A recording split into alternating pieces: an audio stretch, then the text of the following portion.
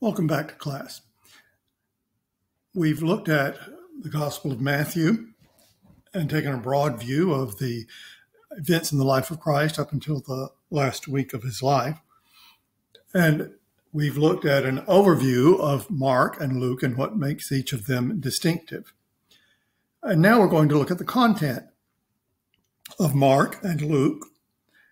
Particularly, we're going to look at the sections of Mark and Luke that are unique to each of those Gospels, meaning the parts of Mark that are not in the other uh, three Gospels, the parts of Luke that are not in the other three Gospels. Starting with Mark, as you'll remember, Mark is the uh, shortest of the four Gospels, and most of Mark is repeated in either Matthew or Luke. So we start out looking at just some details that are unique in Mark. They are some of the same stories that are in the other Gospels, but we have some uh, finer details from Mark that uh, are not included in Matthew or Luke. For example, in the temptation of Jesus, it's the same story that you read in the other synoptic Gospels, but we have this little detail that when he was in the wilderness, you'll remember that's the uh, the eastern downside of the hills that include where Jerusalem is. And it's a very deserted, barren area, but there are wild animals there. We pick up the detail in Mark that Jesus was with the wild animals while he was in the uh, wilderness being tempted by the devil. Moving on to the second chapter of Mark, we pick up a few more details of a time when the uh, opponents of Jesus have charged him with violating the Sabbath.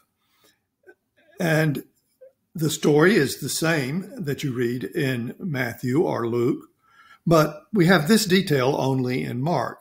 And that is that one of the things Jesus said in answering these charges about doing things on the Sabbath that are uh, against tradition, he said, The Sabbath was made for man, not man for the Sabbath.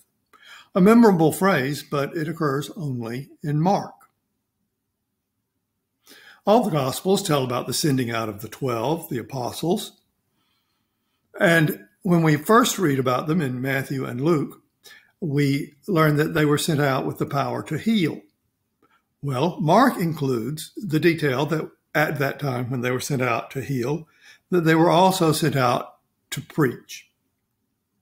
And we find the uh, little detail in the list of the apostles that Jesus had nicknamed James and John the sons of thunder. You'll remember that's one of the Aramaic translations that he provides for those of us and those uh, in the Roman Empire who didn't speak Aramaic. He named them sons of thunder. That just shows up in Mark. A very little detail, but a very interesting one, is that when Jesus was in the boat with his disciples out on the Sea of Galilee, and a great storm came up, and they were disturbed. It said that Jesus was asleep. But Mark adds the detail that he was asleep on the cushion. And it is only in Mark that we read that when he rebukes the wind and speaks to the sea to still the storm, only in Mark do we read that phrase that's so memorable in a hymn Peace, be still.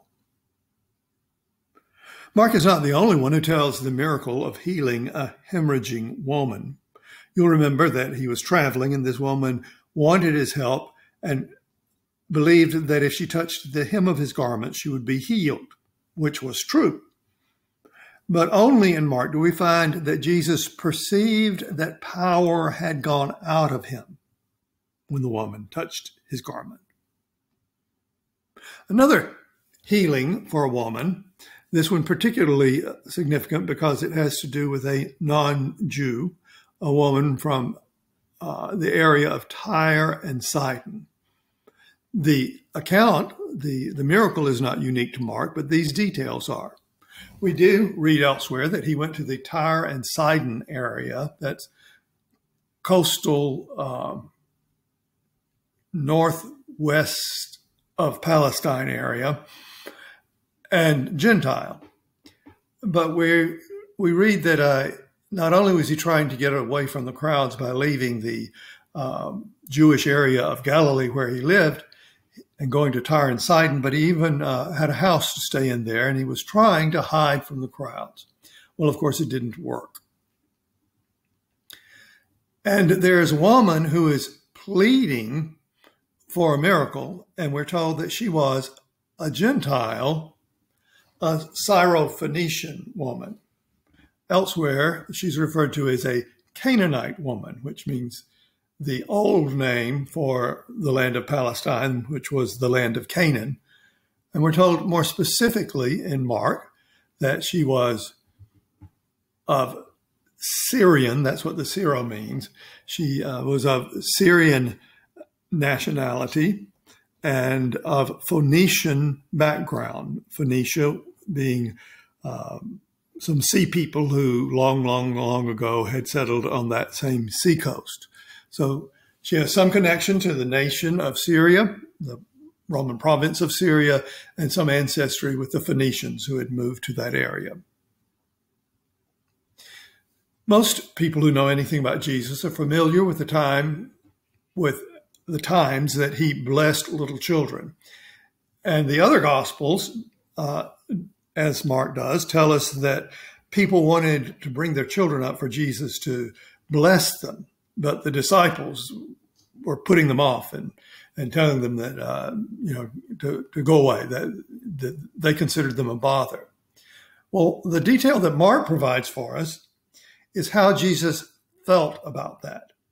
It says that Jesus was indignant when disciples rebuked people because they brought their children to Jesus. Jesus was indignant towards his disciples. The Gospels all tell us about when uh, Jesus identifies what are the greatest commands. Sometimes he's asking other people Sometimes other people are asking him. Well, on one of those occasions, when a um, a crowd is around and Jesus is answering the question, "What are the greatest commands?" And of course, you know the greatest commands are first to love God and second to love your neighbor. After Jesus answers using the familiar, uh, universally understood uh, passages that all Jews considered to be the greatest. That is, Hear, O Israel, the Lord our God, the Lord is one. And you shall love the Lord your God with all your heart, with all your soul, and all your mind. When Jesus answers that way and adds that you should love your neighbor as yourself, we're told only by Mark that one of the scribes, and the scribes tended to be people who opposed Jesus, one of the scribes actually commends Jesus for giving the right answer. And towards the end of the Gospel of Mark, uh, as we read elsewhere in the Gospels, there are women who are the first to arrive at the empty tomb. But Mark says that, at first anyway, they were uh, trembling with astonishment, they were afraid, and so they didn't say anything to anyone. The other Gospels, of course, tell us how they go on and they spread the news.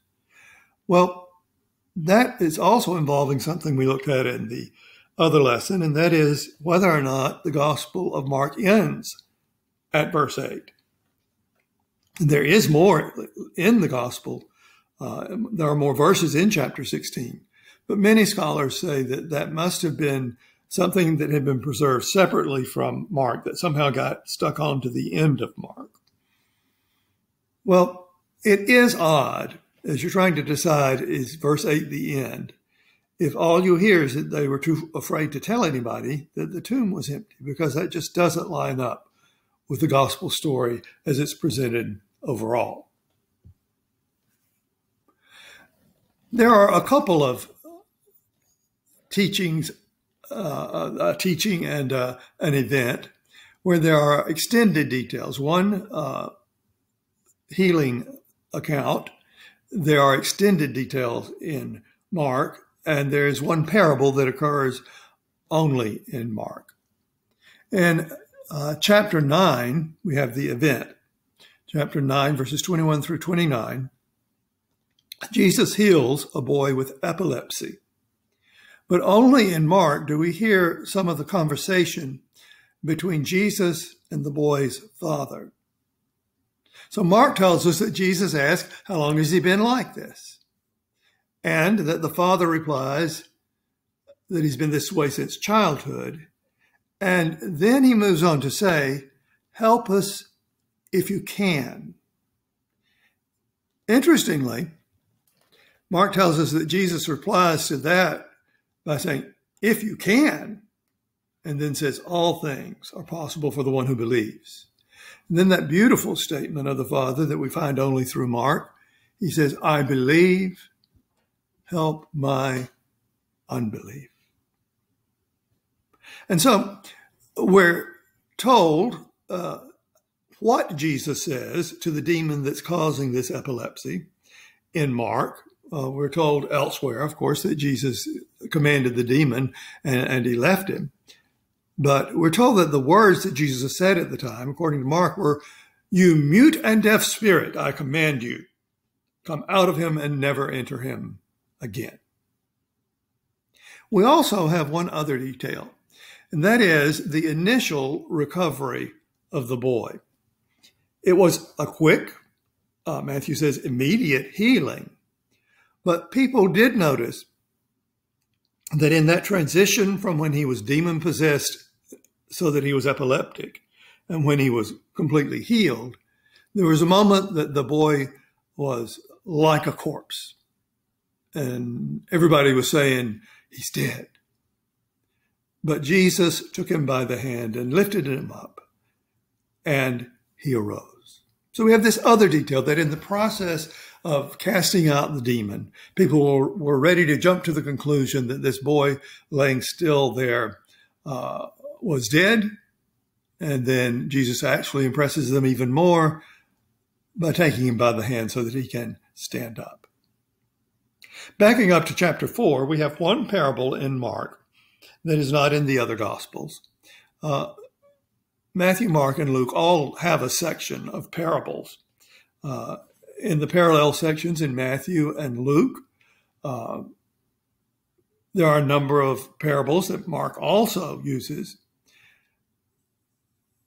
But there is this one parable of seed and harvest that only shows up in the Gospel of Mark. Here, the parable is that God's kingdom is like scattering seed. You just go on about your business, uh, uh, going to bed at night, getting up in the morning, day after day, and that seed that you scattered grows. It says, uh, and he knows not how. That is, you scattered some seed, you kind of forget about it for a while, you don't know how it grows. But then when the harvest comes, you've seen that growth and you go and you harvest your crop. That one only in Mark.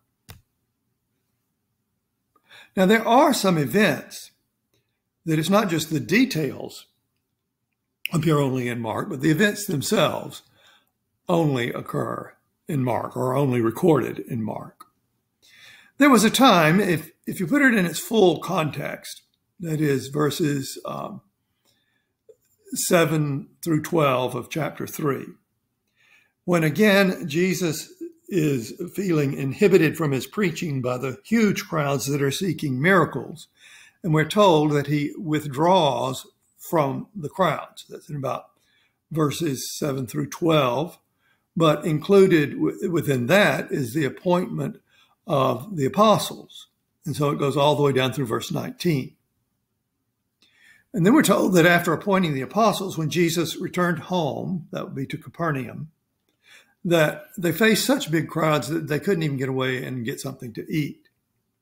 Now, there are uh, different translations here, and so I'm going to give it to you more than one way. What it says that is unique to Mark is that his people took Jesus because somebody, they, said Jesus was out of his mind. Most translations put it that way that his family took charge of Jesus because people were saying that Jesus was out of his mind. I read a very interesting article recently, though, that suggested an alternative uh, translation interpretation. First of all, the phrase his family is an interpretation. It just says those who were his, his people. Now, in the context of, of that section from verses 7 down through 19, it's likely that it's talking about his family, but it could have been his disciples. And it says that they seized him, that is, they laid hands on him, that is, they took charge of him. But then the question that uh, there's much disagreement about is who said that Jesus was in an altered state? It could be that his own people concluded that he was crazy. It seems more likely that the crowds were saying that Jesus was and the word is a broad one. That's why I say in an altered state. One translation is, and it appears elsewhere in scripture, is that it's someone who is out of his mind. But the article I read pointed out that that is not at all the only way that the phrase is used. Uh, it is also an expression of people being astonished at something. And although the wording is awkward, it could be that the crowds were saying that Jesus was like an altered state. He was, they were astonished. He was something very, very different. And so then this article was saying that in this context, perhaps the whole point is that Jesus had to withdraw from the crowds because people were so amazed at his miracles that they wouldn't listen to his preaching. And so he had to withdraw. And that he even had to have his people, maybe his family, pull him aside and, and, and protect him from the crowds because so many people saw him as unusual, uh, something to himself, beside himself. Sometimes translated out of his mind, usually translated out of his mind. But it may not be a negative about Jesus at all. It's just he was so different to the crowds that he attracted crowds. And his people, probably his family, maybe his disciples, wanted to protect him and took him away from those crowds. We have a miracle story, uh, actually, a couple of them, that are recorded only in Mark. There's a time when he is in Decapolis. You'll remember that when we looked at maps of how the Roman Empire and the Herodian family divided up the territory, there was one area that was not controlled by the Herod family called Decapolis, and it was 10 independent Greek cities, mostly to the east of the Jordan River, with one of them spilling over to the other side. And it was not at all Jewish. Uh, no doubt there were Jews who lived there, but they were Greek, Gentile cities. And it is there that we see Jesus doing a miracle for a deaf and mute man and we don't read about this miracle elsewhere except in Mark. There are details that Mark provides that seem strange or at least different. And that is that Jesus puts his fingers in the man's ears and that he touches the man's tongue and says that Aramaic word for be opened, ephphatha, or something like that, and that the man is healed. This is reported only in Mark. And then there's another healing. Uh, if we have the place correctly uh, pinpointed, Bethsaida would have been just on the other side of the Jordan River on the east side, across from the territory that was Galilee proper and, and Jewish. And there in that city, very near where Jesus lived in Capernaum, people brought a blind man to him for healing. And the details of this healing are different from other details of miracles. It says that Jesus spit on the man's eyes, and oddly, that's not the part that's so different. There's another time in John where he heals a blind person and he uh, spits on the dirt and makes some mud and puts it on the man's eyes. But it says he spits on the man's eyes, then he lays his hands on him and he asks the man, Does he see anything? Well, the man gives an ambiguous reply. Sorry for the misspelling there. He gives an ambiguous reply saying he sees people and they look like trees. Then, only after Jesus lays hands on him again is he healed.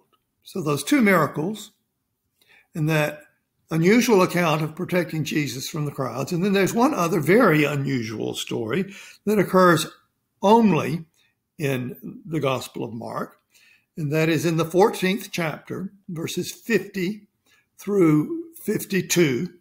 It's particularly verses 51 and 52 that are unique to Mark. It is in the Garden of Gethsemane when Judas is betraying Jesus and handing him over to the officials.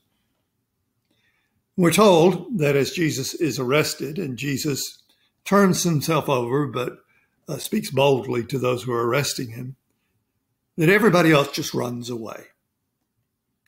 Mark provides this intriguing detail. And they all left him and fled. And a young man followed him with nothing but a linen cloth about his body. And they seized him. But he left the linen cloth and ran away naked. Such a strange story. You have to wonder why it's there. Well, in the first place, it's there to show the tension, uh, the uh, the power plays, and the fear in the Garden of Gethsemane. That some young men who who tried to follow and see what's happening with Jesus when they grabbed for him, he just let him have his uh, his cloth that was covering him up, and he just kept on running away and left his clothes behind. The story is so odd that, with no real way to establish if it's true or not, many people have suggested maybe that's a detail Mark remembers. He was probably Mark was probably younger than the apostles. Maybe Mark himself was there at the time. Uh, he did live in Jerusalem, and maybe that's his own memory. But this is the only place that story shows up. Now we're moving to passages that are unique to the Gospel of Luke. Now, Luke is the longest of the Synoptic Gospels, and we're going to look at it in, in sections of the Gospel of Luke. Uh, two sections in this presentation, then we're going to add an additional presentation for the last uh, section um, other way around. One introductory section followed by a separate lecture on two other sections. Well, the beginning of Luke. Luke very clearly states his uh, purpose and his method in writing his Gospels. He says that he is compiling an additional narrative. He is aware that others have recorded uh, the story of Jesus but up front, he's only calling it things accomplished among us. But he is compiling. And what he says he's doing is that he is putting in order carefully researched accounts from eyewitnesses. So he is making it clear that he was not an eyewitness, but that he has talked to eyewitnesses, that he has carefully researched these various accounts of things that happened, and he's writing to someone named Theophilus, probably an individual, but perhaps a generic uh, term uh, personifying a lover of God, which is Theophilos, what it means. And he says that his purpose is to make Theophilus certain about what he's been taught. Beyond that, we have much more detail about the birth of Jesus in the Gospel of Luke than elsewhere. In fact, only Matthew gives any other details, but Matthew's has a different focus.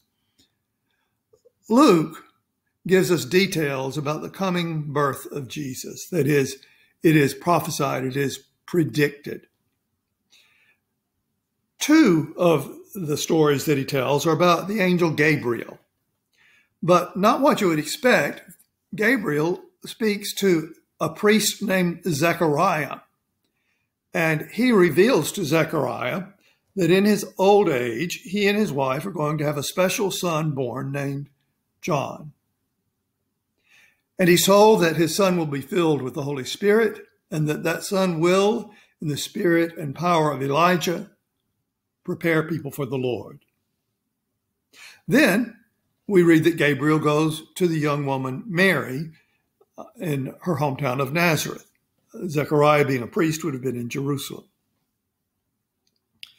Gabriel reassures Mary that this birth that he is announcing to Mary, this virgin birth, is one that will come through the Holy Spirit. And then we have the account of Mary visiting Elizabeth, they're related, and both of them praise God for his blessings. Elizabeth is filled with the Holy Spirit, and she blesses Mary and her unborn child. We're even told that Elizabeth's baby jumps in her womb when uh, the uh, pregnant Mary comes in.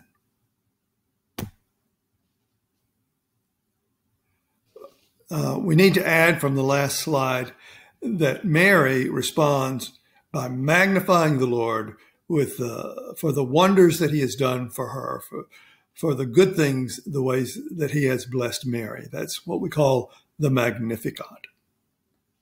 Moving on to chapter two of Luke. Luke provides much detail that helps us to put the story of Jesus into historical context.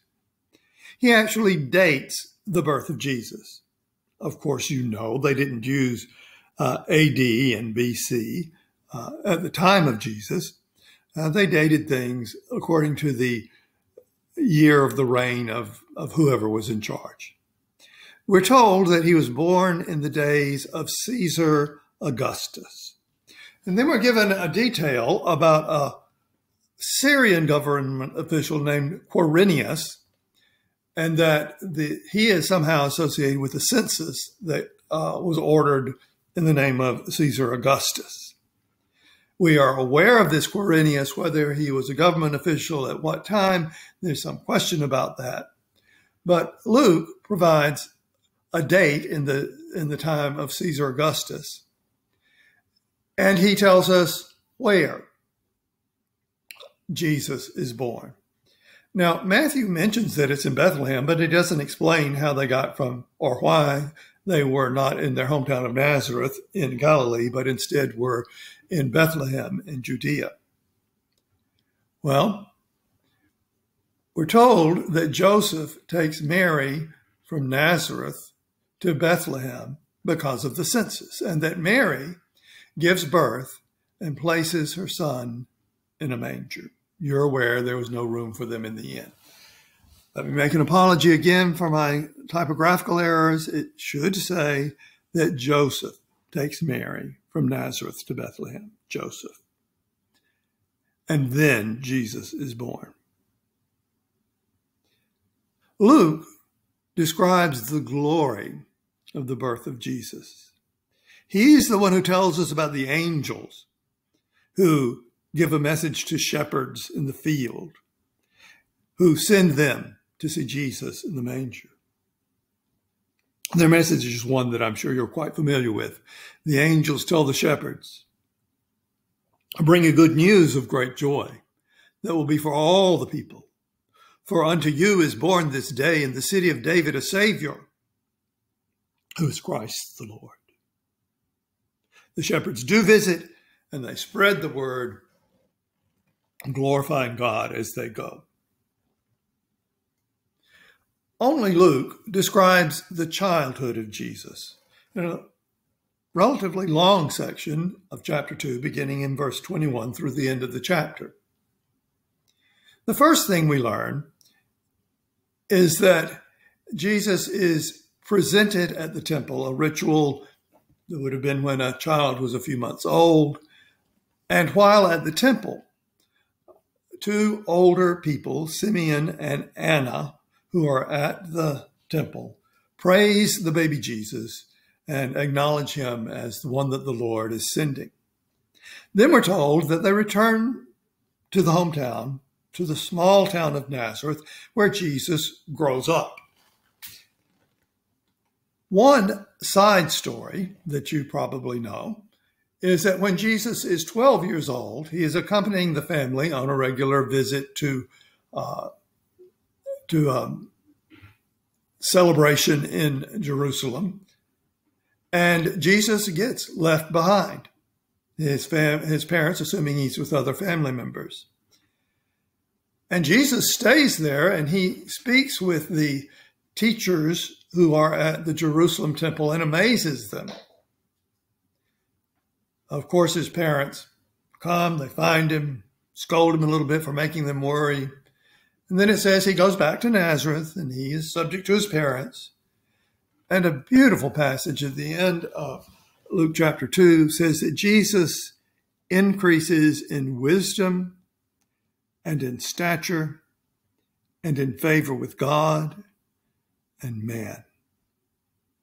I've always thought that's a wonderful lesson for child rearing, for youth ministry, is to help young people to grow wise, to grow physically mature, to grow in God's favor, and to grow in people's favor. You grew up to be a fine young man in Nazareth. Still in the opening of Luke, but now in the adult life of Jesus, we see in the third chapter, we have another date from Luke. John the Baptist begins his ministry in the 15th year of Tiberius Caesar. You can't pin it down because calendars have changed through the ages, but it is about AD 29 when John the Baptist starts his ministry. Also, we're told that it's in the time of Pontius Pilate as governor of Judea and Herod as tetrarch of Galilee. There's more than one Herod in the New Testament. This one is Herod Antipas. So he was the one ruling Galilee and some other territories. Pontius Pilate was the governor in Judea. And we do have dates from outside the Bible that help us to pin down all of this is at the time around 29. Luke also provides some details about what John the Baptist said in his preaching that we don't find elsewhere. That is, that people who have plenty, who have enough clothes and food, need to share with people who don't have them. He answers tax collectors who say, Well, what kind of repentance do we need? And he says, You don't need to be collecting any more taxes than you're authorized to collect. He tells soldiers, again, I apologize for my typing, he tells soldiers that they don't need to be uh, pushing people around, uh, abusing their authority. They need to be content with their wages and not try to get stuff out of other people by force. And then Luke only gives uh, details that follow about the beginning of the ministry of Jesus. Only Luke tells us that Jesus is about 30 when he begins his ministry, which dovetails very handily with the year 29 since we date the years from the birth of Christ. The genealogy that Luke provides for Jesus is different from the, Luke, the uh, genealogy that Matthew provides, particularly from the time of King David up until the time of Jesus. There are distinct differences. And the uh, turning point seems to be that in Luke's genealogy, it is traced through a son of David named Nathan. And in Matthew, it is traced through the son who inherited the throne, Solomon. Solomon and Nathan were both children of Bathsheba. It sounds like a contradiction, but if you've done any genealogy, you'll see that eventually the lines diverge and the lines come together. And when you're talking about the Jewish people who kept close records of their ancestry and who treasured staying within the tribe, then it would be fully expected that Joseph and Mary would have common ancestors, with Mary coming off one branch of the family and Joseph off the others. And that seems to be the most common explanation for this difference between the two.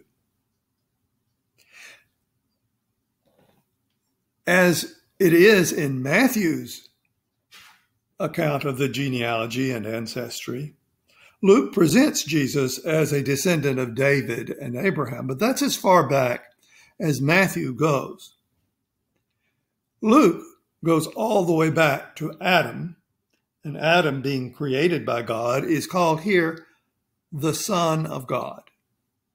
So we have something of a closure of a section, bookends. We started out uh, reading about in Mark, uh, Jesus, the Son of God, uh, Mary being told that her child would be Son of the Most High. And now we find out that his ancestry goes all the way back to Adam, whom God created, the Son of God. In a different sense, of course, than Jesus is the Son of God. One significance of this difference is that Luke, who seems to be of broader background than just uh, Palestine, seems to be writing for people beyond Palestine. And so he goes back to the ancestor of all people, not just the ancestors of the Jews.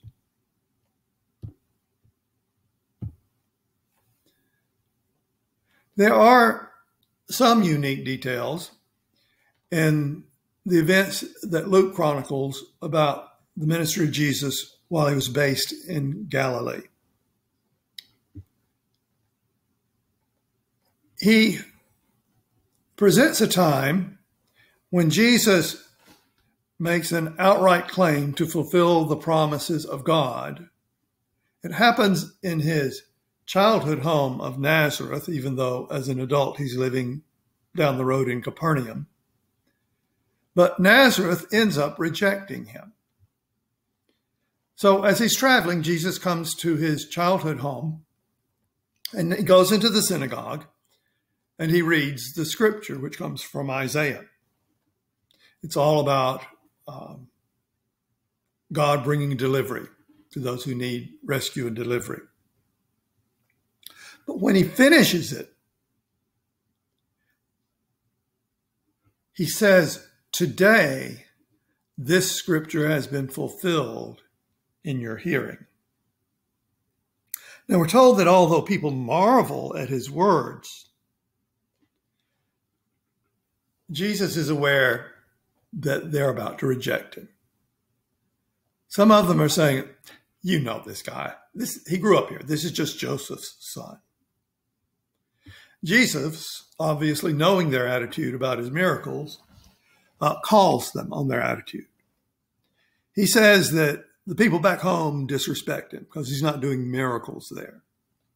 Well, there is that famous saying that a prophet is not without honor except in his own hometown, among his own people.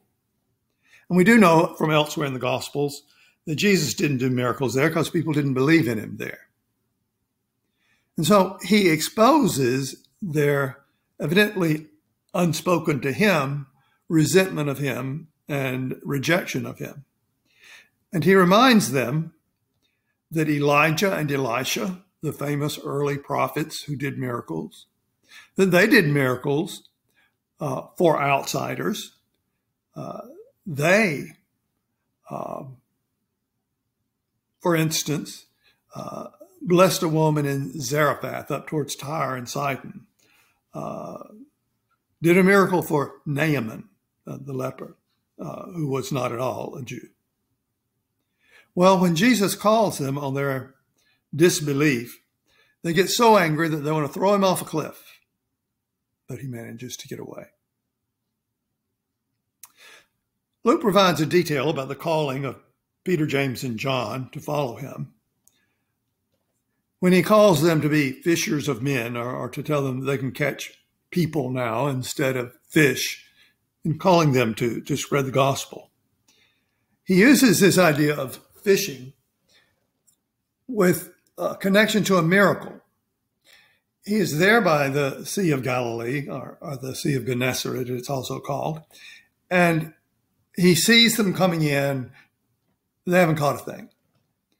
And he uh, asks Peter to let him get in the boat, and he comes out, and then he tells Peter to put out into the into the sea and to throw the net on a certain side, and uh, and he says, "Look, we we've been fishing all night. We didn't catch anything." Well, when they do what Jesus says, they start pulling in so many fish it's about to sink the boat. And at that time, he calls Peter, James, and John, who've seen the miracle, and tells them that they will become fishers of men. There is an interesting alternate lesson that Jesus preaches, very similar to what we read in the Sermon on the Mount in Matthew. he pronounces blessings or beatitudes on people very similar to those that we read in his sermon recorded in Matthew chapter 5. Similar but not the same.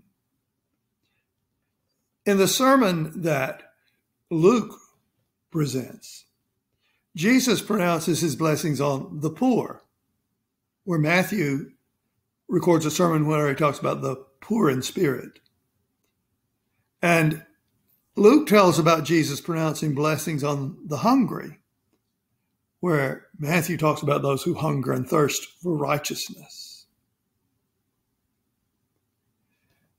They do both talk about those who are weeping, about those who've been rejected. What is even more strikingly different in this sermon than the Sermon on the Mount is that these uh, blessings, these beatitudes, are followed by curses. That is, Jesus pronounces woes on people who are in the opposite condition those who are rich, those who are full, those who are laughing, and who are among those respected by people. The difference between the two groups is on whether you're going to get your reward now, as in human accolades, or later, when God gives it in eternity.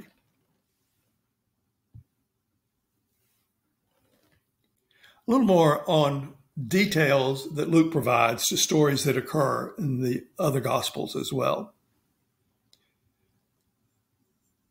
There is a, a miracle. Uh, in fact, it, it's um, it's not recorded in the other Gospels. Jesus is traveling and goes through a evidently small town named Nain, and there's a funeral procession. The widow is grieving for her dead son would have been a, a terrible situation. Uh, remember, women had no economic power. Her husband was dead, and now her son that could have supported her is dead. We're told that Jesus, out of compassion, touches the, um, we would call it the casket, and the man rises up and is alive and speaks.